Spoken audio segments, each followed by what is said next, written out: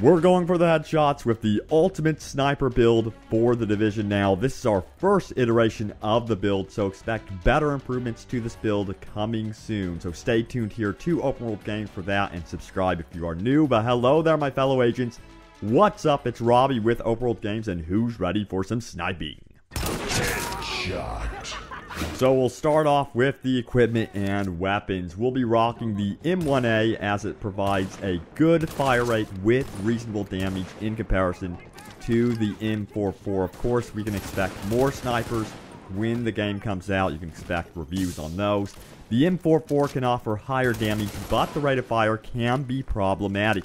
And our secondary will belong to the ACR. As for our gear and equipment, we'll need to build up our DPS or damage by focusing on gear that has the firearm stat. So pay attention to this one when roaming out in the world and collecting your gear.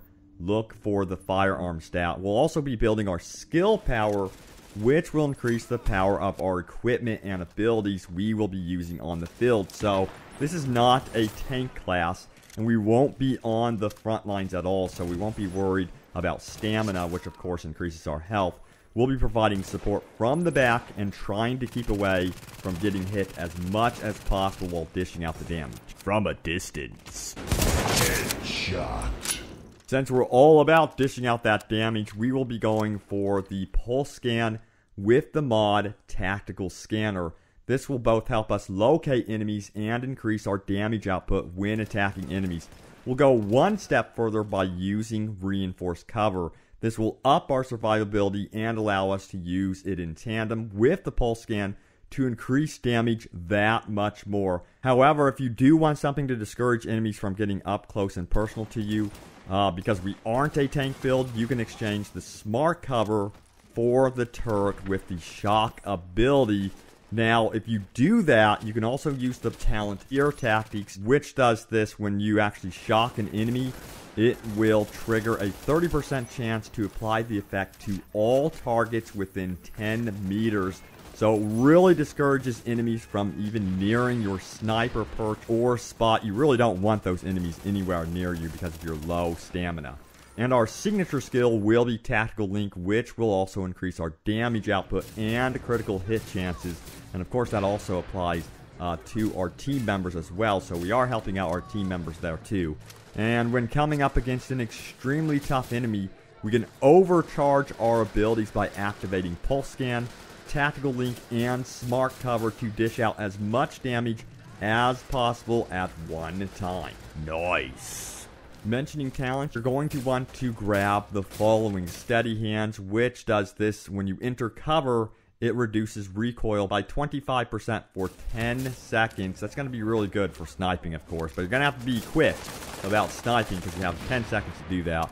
And then you have Repo Reaper, which is this. When you kill a hostile with the sidearm, you receive one magazine for your primary weapon. So, just in case we run low on ammunition, uh, your sidearm will hopefully replenish that stock because that has happened to me many times.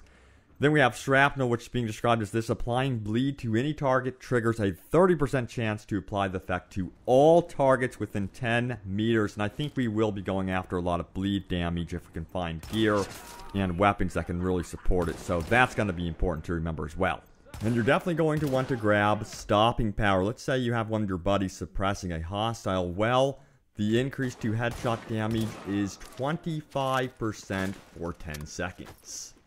And remember the perk talents will increase your active talents by one slot. That means that you will be able to go into battle with five talents. So, I recommend considering precision when you have this fifth talent. It is headshot a hostile to pulse them for 10 seconds because, you know, being aware of where your enemies are is extremely important on the battlefield. And you got to remember that perks are always passive, they are always available and unlocked. It just matters when you unlock them, that's going to be the important thing. Eventually, you will have all perks unlocked. So there you guys have it, a quick look at the Ultimate Sniper Build Iteration version number 1. Remember, I will be improving the sniper build as we go, but for now, this is what I would recommend if you want to play as a sniper. Let me know if you would change up anything, because really in the division, there is no wrong or right with the equipment. You could do so much stuff within. In fact, I was considering uh, using the sticky bomb as a mine to discourage people from getting close. So that's another thing you could do in tandem uh, with the turret. So with the sniper build, though, you have to remember that uh, you're going for DPS and not health, not the stamina. So that means you are going to be a little bit weaker and you need to consider retreating and keeping enemies at bay as much as possible. But this is a team game and you really do want to consider the synergy between your squad members and you will need support when playing as a sniper class, definitely. Thanks guys so much for watching. Stay tuned here for more Tom Clancy The Division right here on Open World Games, and I will see you guys later in the Dark Zone.